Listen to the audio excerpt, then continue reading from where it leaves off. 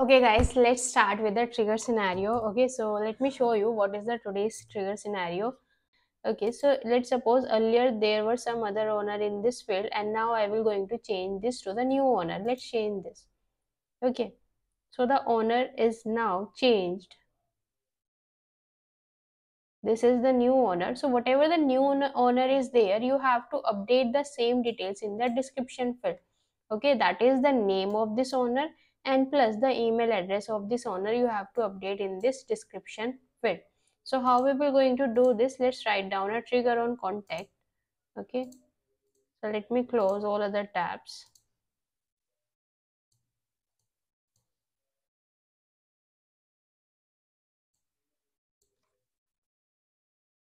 I must be having already a trigger on contact so I will going to utilize the same and new method I will going to now create. Okay so let me hide all other previous ones so it should not create any kind of confusion. This is done. So now first thing comes here is you should be clear what type of, uh, of uh, trigger event you will going to use on which object you will going to create this trigger and then finally what context variable will going to help you out in this scenario. Okay so this is the scenario whenever you will going to update the owner of the contact object or the contact record then the new updated values of the owner should get added in this description field like the owner name and its email address. So here operation you are performing is the update and where you have to update the same thing on the same object only that is on the context so trigger we will going to write on contact type we will going to use before here because on the same object we will going to do the changes and the operation we will going to use the update. So the scenario trigger event will be here before update. So before update is added here already let's add the check. If trigger dot is before and then trigger dot is update. Okay then we will going to utilize the same handler and i will going to create the new method this time update description with owner details. Okay now in the uh, update if you remember uh, in case of before update we will going to have all four context variable values okay? Trigger dot new new map old old map all con four context variable will going to have value. If you want to show that yes this particular field is updated by the user then we will going to use trigger dot new that is the new values of this record plus we want the previous values of this record also. Either you can use trigger dot old or you can use trigger dot old map. So i will going to prefer to use trigger dot old map only because based on the id directly we can access the details. Now let's create this method in this handler. Okay this is open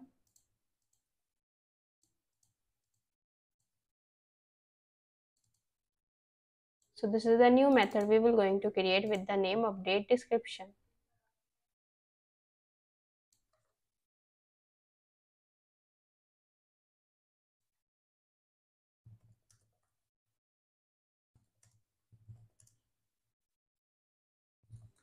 So two context variable we have passed from there that is the list and the map and the type will be of contact. Okay.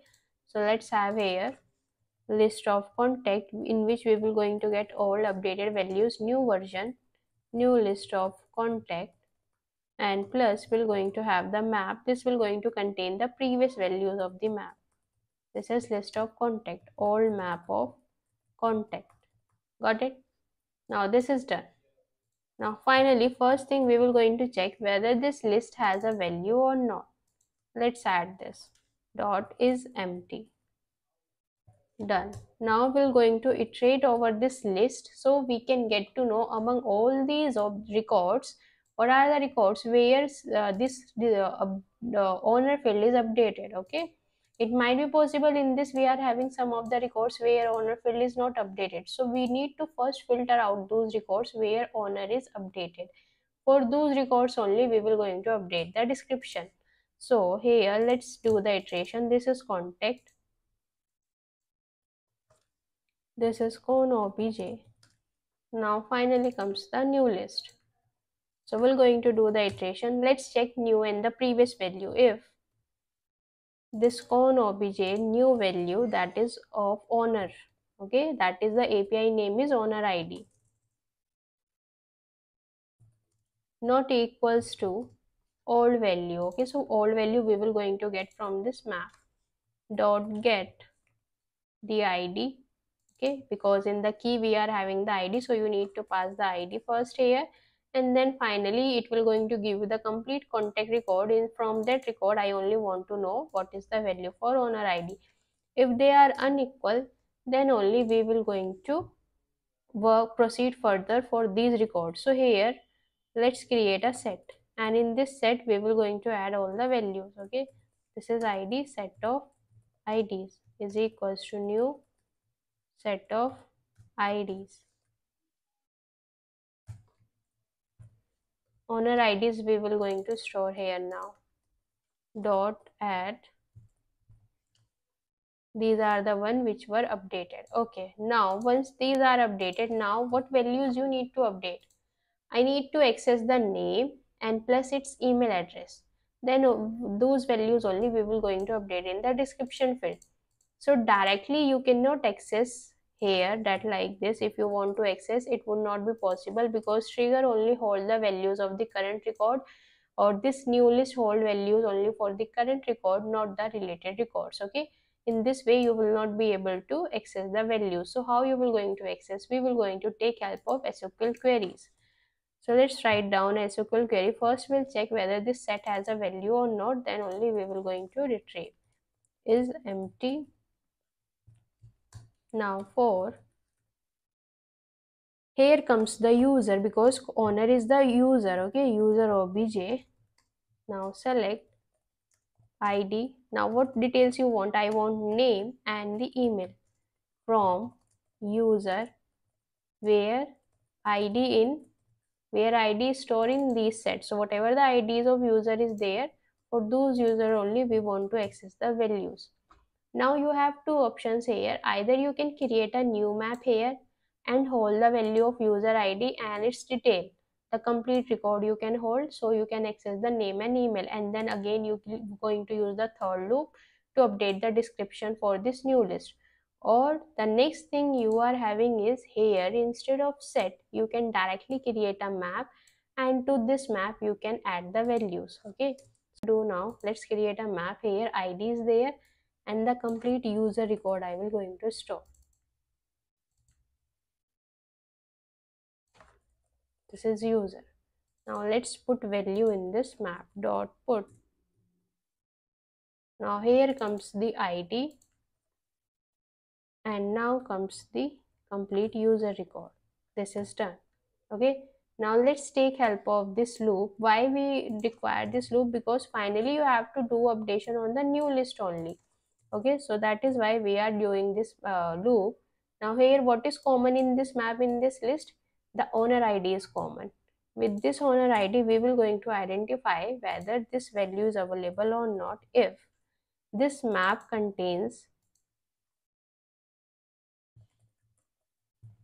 what? The owner id okay this is same available here only then only we will going to update the description field. So this is the record of a contact.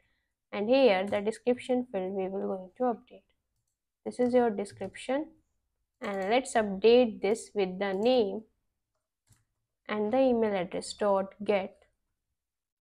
This is the name we will going to access. So this will going to give you the complete user record. Okay? But instead of a complete user we just only want the name plus let's give some space. Now i want the email address. Okay this is done. Finally we updated the values. Now as this is a before trigger and on the same object or the same record you are making the changes so there is no need to perform any kind of DML okay now let's save this and test so this is saved. Now let's save the trigger also.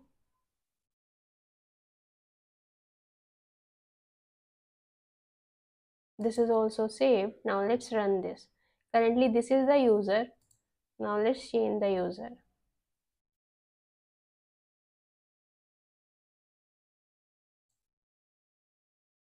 So currently this is the value available in the description. Let's change this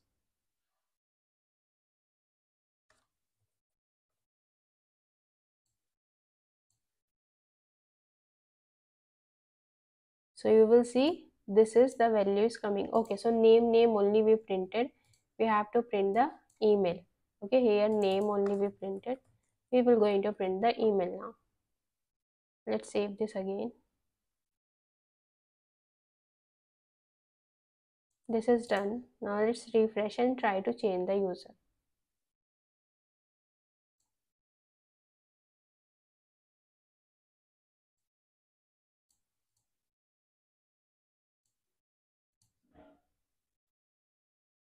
now you will see the name is here of the new user and the email address is here of the new user. Similarly if you were going to change to some other user then the same new updated value and its email address it will going to show you in the description field. This is here.